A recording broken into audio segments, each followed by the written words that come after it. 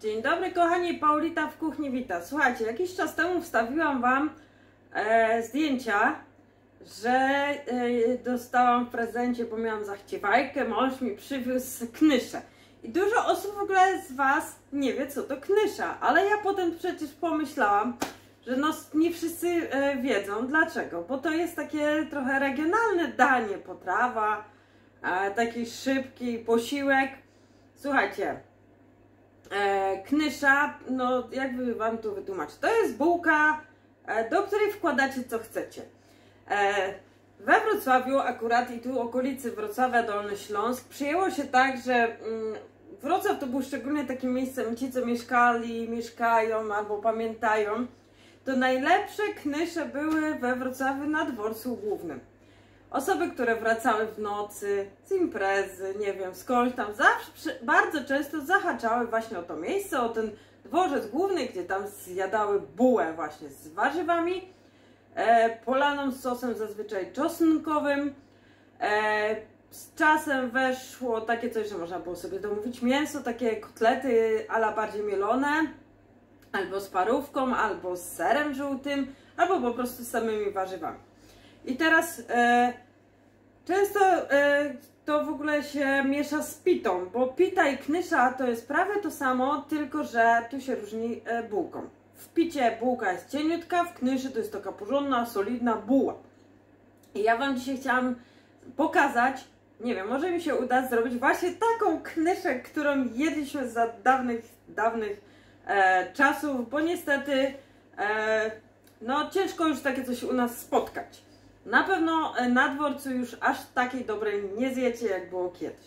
No to co, próbujemy. No i oczywiście przepis e, taki trochę zaczerpnięty z internetu, trochę z głowy. E, ale mówię, tu podstawą jest ta buła i sos. Sosy też były różne. Ja zazwyczaj jadam z czosnkowym i z samymi warzywami. Już teraz z czasem zaczęto dodawać mięso jako kebaba, gerosa i tak dalej. Ale mówię, taka ba- najbardziej znana to jest ta z warzywami, plus na przykład ser, plus y, kotlet bardziej mielony niż jakiś tam e, wykwintny, lub plus parówka. Także lecimy, dodatki Wam pokażę mniej więcej, a tutaj i tak sobie dacie co chcecie. No to lecimy. Słuchajcie, e, ciasto e, na tą bułkę to jest ciasto drożdżowe. I teraz zacznijmy od tego, że oczywiście zrobimy to w Thermomixie, ale takimi metodami e, no starymi. Jak to stara potrawa, to jest stare metody. Dwie szklanki ciepłej wody wlewamy do Thermomixa, słuchajcie. Ja wiem, że to można oczywiście przełożyć, przemierzyć, ale chciałam Wam pokazać, że tak też można sobie zrobić. I do tego drożdży. Drożdży dajemy 25 gramów. Oczywiście odpalamy znowu naszą wagę. 25 gramów drożdży.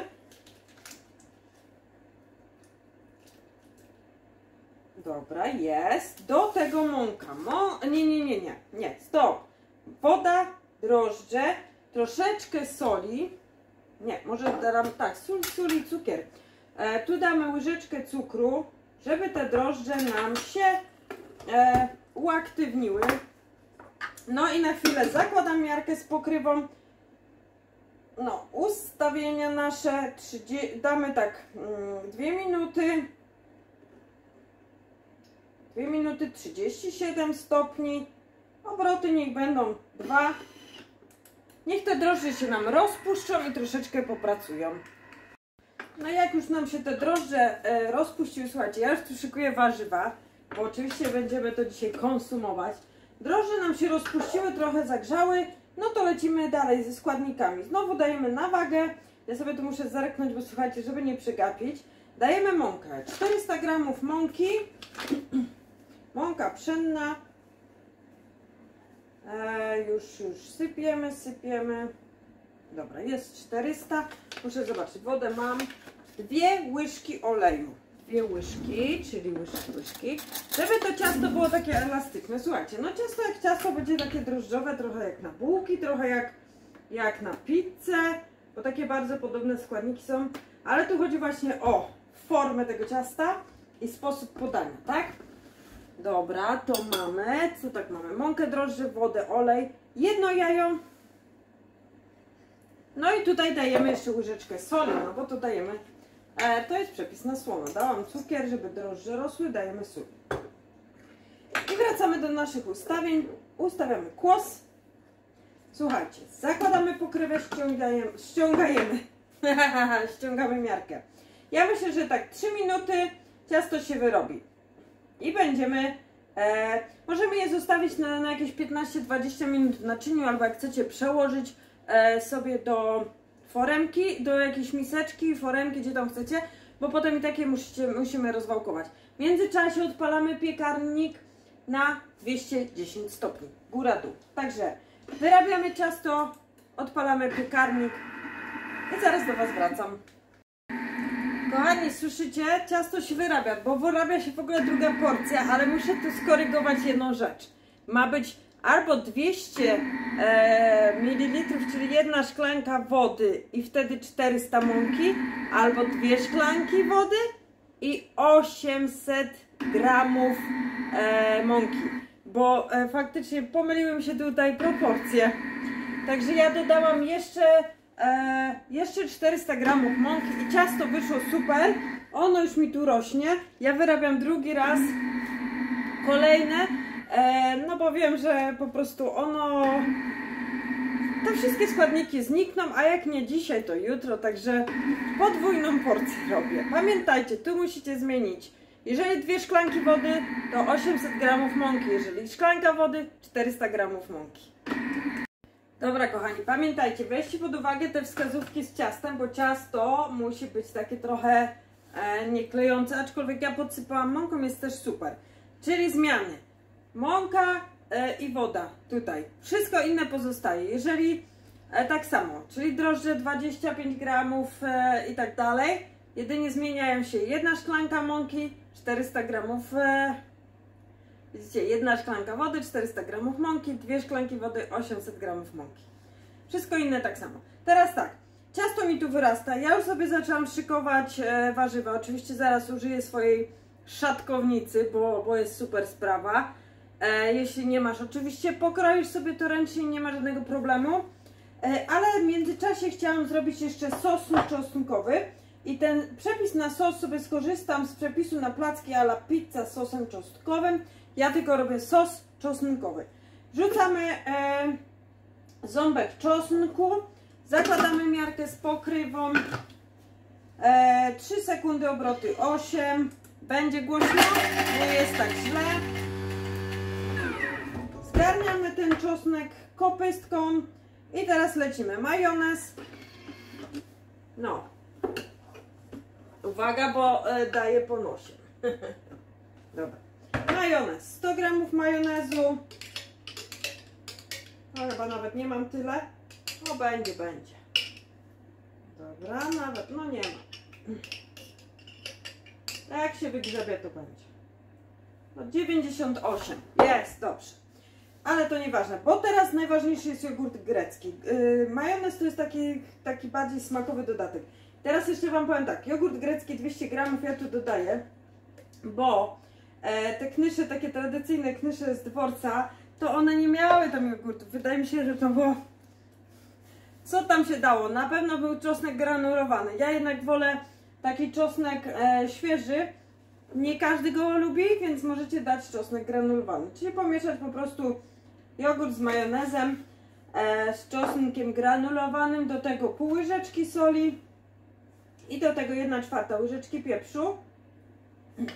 No i tak, zamieszamy to tylko 15 sekund, obroty 2,5, przekładamy do miseczki, niech on już, że się tak powiem, przegryza, a ja już wracam do Was e, z warzywami, pokroimy warzywa, bo bułki będą się pujekły dosłownie chwilę, także sos, warzywa i pieczemy. Kochani, ja już tu szykuję sobie michę warzyw, słuchajcie, bo tak, w tym knyszach była oczywiście przewaga kapusty, bo wtedy była tania i była upychana i biała i czerwona, żeby była jakaś odmiana. Marchewka, ogórek, pomidor, kukurydza. Z czasem pojawiała się cebulka prażona, e, potem już nawet była pekińska. No dodatki naprawdę były różne. E, cebula zwykła. Teraz już powiem szczerze Wam, nie pamiętam co tam było, bo to też było uzależnione od sezonowości, czyli od tego, co było tanie, jakie warzywa były tanie i wtedy pojawiały one się w tej bułce. E, ale ja już się przyszykowałam, przyszykowałam sobie szatkownicę, zaraz będzie się tu działo. E, zobaczcie, ciasto urosło mega. No i teraz bierzemy nasze ciasto, jeszcze ciepłe. E, wałkujemy na okrąg, znaczy robimy z tego kółko o średnicy mniej więcej 25 cm i grubości 1 cm. Słuchajcie, tak, bo to musi być taka buła, którą, e, do której napchamy warzyw, że tak powiem, za jednym razem się najemy. E, sosu czosnkowego będzie trochę mało, ja już wiem, ale że tak powiem, mam dorobioną dużą, dużą michę. Słuchajcie, to starajmy się zrobić faktycznie jako okrąg, bo potem musimy to przekroić na pół, jak już się upiecze. O, 1 cm, no. I to były sobie takie właśnie knysze. Niektórzy mówili, że one były w kształcie trójkąta, e, niektórzy, że były takie właśnie koło przekrojone na pół, w kształcie takiej buły. Słuchajcie, tutaj e, ja zazwyczaj jadam taką właśnie bułę przekrojoną na pół. I teraz tak, lecimy z tym do piekarnika 200, ile stopni? 210 stopni, tak jak Wam mówiłam. E, 25 minut. Tylko teraz. Wiadomo, e, w tych budkach, które myśmy tu jedli, te knysze były odgrzewane w tosterach, więc jeszcze, no one nie były na bieżąco w ogóle e, robione, więc były podgrzewane, więc miały jeszcze, e, o, takie były w tych opiekaczach opieczone, opiekane, więc miały e, takie paski, wiecie, jak od tych tosterów. Nasza na razie nie będzie, zobaczymy. Może też zrobimy, że będzie, bo wyjdzie tych buł dużo, także podejrzewam, że jutro na pewno będą odgrzewane, bo nie zmieścimy wszystkich. Także lecimy do piekarnika, 210 stopni, 25 minut. Ja w międzyczasie sobie ogarnę warzywa. E, dla niektórych domowników może ser zetrzemy, może e, co prawda kotletów nie mamy, ale na przykład zrobić można na parze mięso sobie, jeżeli chcecie bardziej dietetyczne, a i były też z tuńczykiem, właśnie teraz mi się tak przypomina, co tam jeszcze było. Także różnorodność dodatków jest to, co Wam głowa podpowie. No i kochani, knysza to jest taki stwór, zobaczcie, to jest ta jedna wielka buła, oczywiście ich się jeszcze piecze mnóstwo, mnóstwo, którą należy przekroić na połowę. Więc ja to zrobię. Słuchajcie, tu jest magia, bo tu jest tyle tych warzyw. To jest bardzo fajny pomysł też na to, jak robicie sobie, słyszycie jak to chrupie? Ona jest w środku pusta. Już Wam wszystko pokazuję. Zobaczcie, to jest ta prze... znana we Wrocławiu buła, e, którą napełniamy właśnie e, czym chcecie. Ja Wam tu zaraz pokażę, jak to się robi, no i będziemy degustować. E, chciałabym, żebyście tak zobaczyli sobie, jak to naprawdę z bliska wygląda, więc poproszę tutaj e, po znajomości jakiegoś operatora, żeby Wam nagrał, ja będę Wam tłumaczyła. No i teraz tak, podstawą i e, pierwszym składnikiem był sos, którego zawsze było mało. Potem było mnóstwo kapusty. I to zazwyczaj, o widzicie jak się sypie, zazwyczaj żeby było e, dużo i kolorowo, no to jak już mówiłam dawali kapustę białą, czerwoną. O, do tego mnóstwo marchewki, mogły być ogórki, na przykład e, tutaj niektórzy chcieli, no to na przykład ser żółty, czy tak jak już Wam mówiłam, e, mięso jakieś, czy parówkę, czy tuńczyka. Potem szła kukurydza, pomidory, ta cebula. O, tak porozkładam. Znowu trochę kapusty, żeby było pełno. Ja już tak nie będę pchała, bo to jest domowa pita. Knysza, widzicie, knysza. No i na to wylewaliśmy znowu sos. Dobra, ja sobie tu uzupełnię i już Wam pokazuję, jak będziemy to wcinać. No i kochani, wszystkim ślinka cieknie, ja jako pierwsza to próbuję. E, zobaczcie, no mówię, tu dodatki można dawać jakieś chce. Uwaga, bo będzie chrupało. Mmm, powiem Wam, że to jest tabuła, to jest tabuła za dawnych lat. Także ja Wam polecam, tylko pamiętajcie o tym cieście. Składniki na ciasto trzeba spróbować. O. Mmm. Mega. Mega knysza mi wyszła. Ja już wiem, co teraz będą koleżanki moje e, mówiły, żeby zrobić, bo z chęcią przyjdą. Także moi drodzy, róbcie sobie knysze, dodatki jakie chcecie, tak jak już wspominałam. Może to być mięso, może to być ser, może to być tuńczyk, mogą być same warzywa. Ja najbardziej lubię z samymi warzywami. Dodatki pod siebie róbcie, ważne, żeby był sos i dużo kapusty, żeby to wypełnić taką pitę. Gwarantuję, że się taką bułeczką najecie. Ewentualnie jedną całą, ale zróbcie sobie, yy, przekrójcie i zróbcie dwie połówki. Dobra, kochani, lecę, bo tu już co rodzina nie może wytrzymać, bo ten zapach się rozchodzi jak nie wiem. Także życzę Wam smacznego i róbcie, piszcie, czy smakowało. Buziaki, pa!